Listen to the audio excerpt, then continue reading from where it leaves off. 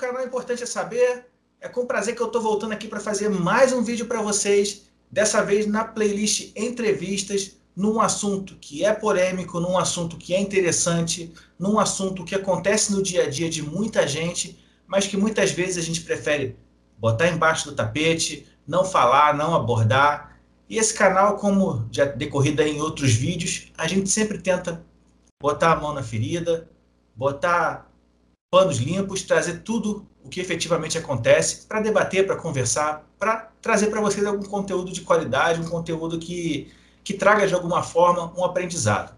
E hoje, né, vamos trazer aí a, a doutora Rayane Cunha, que é psicóloga, que é uma pessoa voltada, um profissional voltada para o tratamento, para o aconselhamento de pessoas vítimas de violência sexual, que é um tema muitas vezes ignorado pela mídia, por boa parte dos órgãos até mesmo de saúde pública, a gente não vê muita coisa na, no SUS falando, e, a, tentando apresentar o tema e trazer o conteúdo para as pessoas, né, gente? Então a gente tenta dessa forma trazer um pouquinho de orientação, um pouquinho de conhecimento. Vou pedir para a doutora Rayane se apresentar e aí a gente vai fazer uma entrevista aí que vai trazer muito conteúdo interessante, tá bom? Doutora Rayane, a bola está contigo. Olá, é, eu sou psicóloga clínica, sou formada pela FMU aqui de São Paulo e trabalho com vítimas de abuso sexual e depressão e ansiedade que são decorrentes da, dessa violência. É, eu, meu foco de atendimento é justamente vítimas de, de abuso, é, pelo fato que, como eu comentei com o Léo anteriormente, é, o destino me levou a, a, trabalhar com essa demanda, né? É, eu sofri abuso sexual na infância e na vida adulta e Tentei de todas as formas não, não entrar em contato com essa demanda pós-formação na faculdade, mas só foi surgindo essa demanda em consultório, então é, eu vi que era uma missão é, ajudar pessoas que também passaram por essa, por essa crueldade, né? Foram acometidas ao abuso sexual, seja de familiar, de pessoas próximas. Então, é, eu estou aqui para ajudar, para aconselhar e a minha missão, né? Cuidar para quem chega, amparar, acolher, para que a pessoa consiga ressignificar essas feridas que ficaram de um abuso ou tentativa de estupro ou estupro. Exatamente. Inclusive, gente, depois eu vou deixar aqui no, na descrição do vídeo, tá? O Instagram da, doutora Rayane, e aí quem quiser entrar em contato, lá tem o telefone, tem todos os dados, ela tem atendimento presencial, tem atendimento online também, não é isso? Sim, aqui em São aí Paulo. A gente, isso. A gente pode deixar toda na descrição do vídeo. E aí, quem tiver necessidade, às vezes não está em São Paulo, não dá para ser presencial, mas uhum. tem o atendimento online pelas plataformas das redes sociais que a gente tem acesso. E aí tem como se consultar, ter, tirar suas dúvidas, enfim. Ter esse atendimento que é muito importante, uhum. já que o tema é complexo e é um tema que não. que apesar de não ter muita transparência na, na imprensa, como eu já falei, ele ocorre diariamente em vários lares brasileiros, tá? Então é, é muito importante. É, primeira pergunta, já que já, você já explicou o porquê né, desse, dessa temática no, no seu, na, na, sua vida profissional, né? É, além dessa temática da, do, do estupro, da tentativa ou do, do estupro consumado, existe algum outro tipo de paciente ou tipo de problema que chega muito no seu consultório? Além desse, qual seria, assim, numa escala de, no ranking, qual seria o segundo, o segundo tema que você mais aborda aí na sua, no seu atendimento? É, ansiedade é o que vem muito, as crises de ansiedade, né? E aí que acabam desencadeando depressão. Então é o que mais chega. E, e é o que também é o meu o, o trabalho que, que eu foco também em depressão e ansiedade e o que vem muito de vítimas de abuso sexual é o transtorno de estresse pós-traumático. Então, são esses três tópicos que eu, que eu vou trabalhando em consultório, né? Porque 90% dos meus atendimentos é, são vítimas de abuso sexual. Então, aparece depressão, crise de ansiedade e transtorno de estresse pós-traumático. Entendi. Acaba sendo, sendo assuntos correlatos, né? Sim. É, surgem em decorrência do problema principal. Sim. Entendi. É, uma pergunta que eu, eu, tenho muita curiosidade, acho que de todas as perguntas que eu pensei em fazer, essa foi uma das que mais me, me chamou a atenção. Como é que a gente consegue retirar da vítima o sentimento de culpa pelo estupro? Porque muitas vezes a gente tem uma cultura no Brasil hoje em dia, né?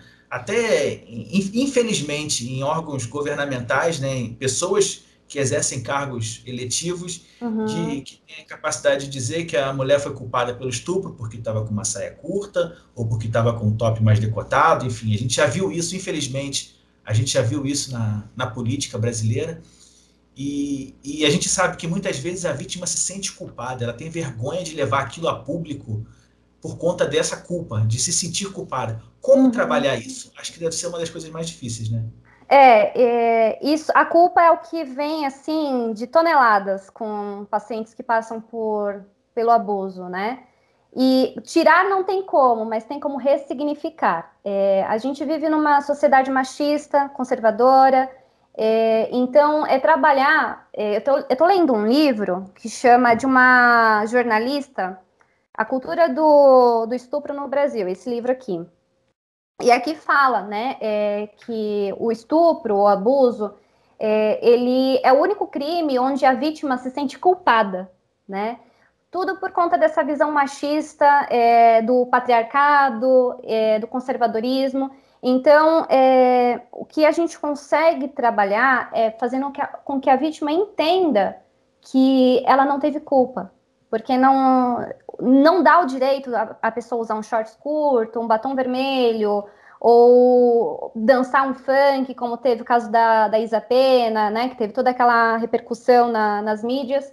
Então, é trabalhar para que ela compreenda, entenda que ela não teve culpa alguma, né, porque tem essa, essa questão é, de achar que por conta de vestir uma roupa mais curta, foi é, algo que atrativo para a pessoa cometer tal ato, né?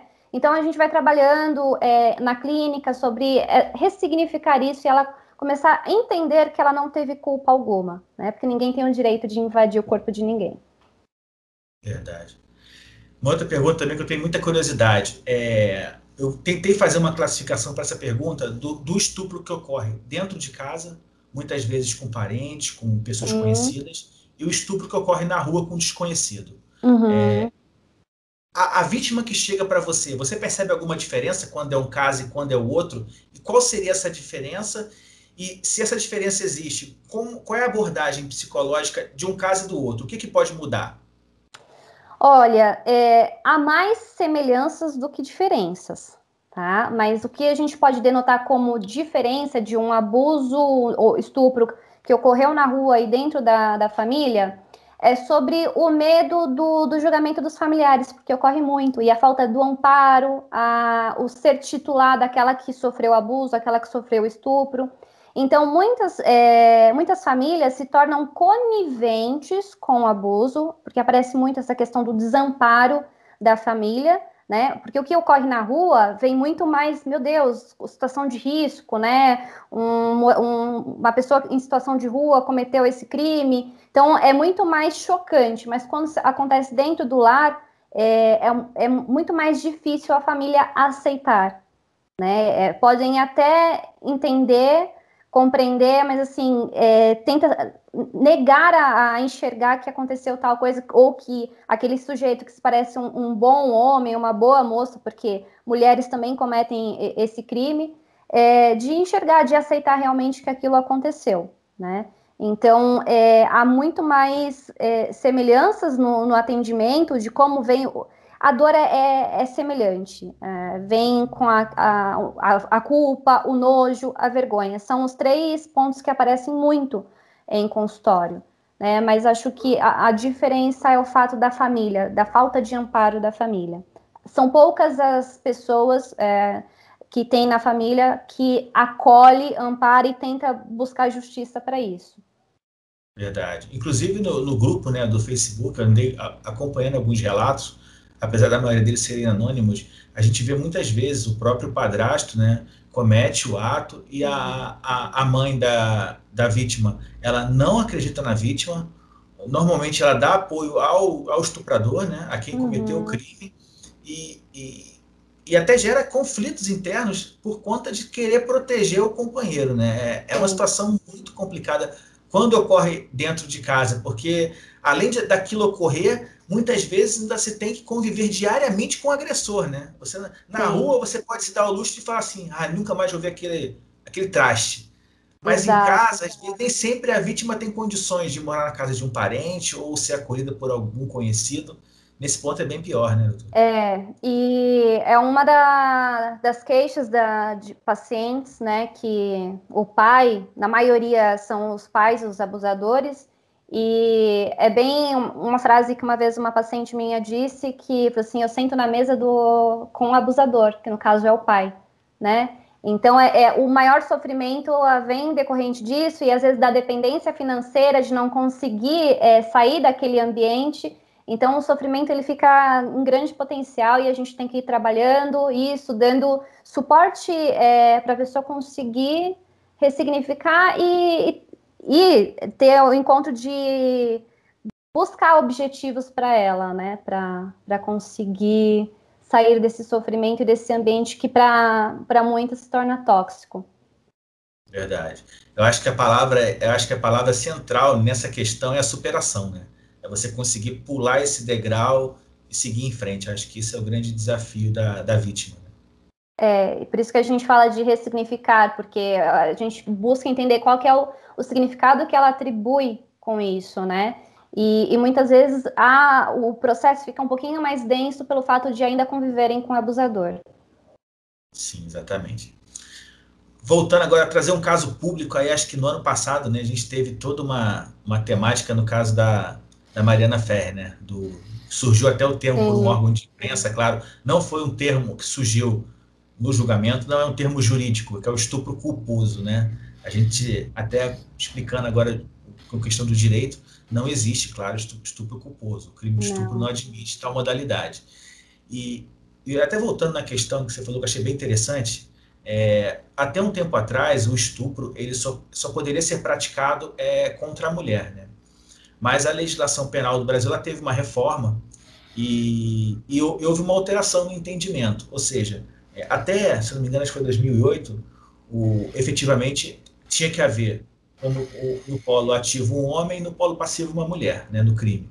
Uhum. Mas agora a gente, a gente suprimiu o, alguns tipos penal, fez algum um reajustamento ali na, na questão do, do Código Penal, e agora podemos ter o estupro, inclusive, de homens, o que não acontecia antigamente, já que antigamente quando havia uma violência sexual contra o homem, não era caracterizada no tipo do estupro, e sim no tentado violento ao pudor. Então tinha uma diferença que agora se unificou no estupro. A doutora já teve algum caso de homem vítima de estupro? Já chegou no seu consultório? Já, já chegou e foi bem assim marcante, né? Porque normalmente a gente espera mais de mulheres que sofreram isso ou na, na infância, na adolescência ou vida adulta mas tem casos sim de homens, né? Mas é, o sofrimento é muito maior por conta dessa nossa sociedade machista e pre preconceituosa, que tem muito sobre isso, né?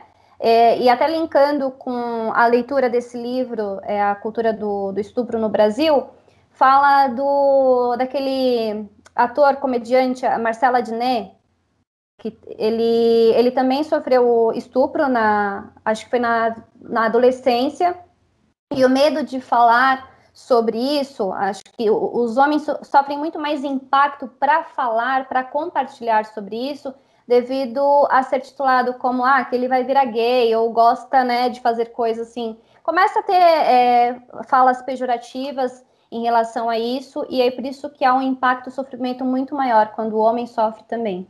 Né? Mas há casos sim, o sofrimento é, é muito mais difícil trabalhar com vítimas homens porque a, blo os bloqueios são muito maiores.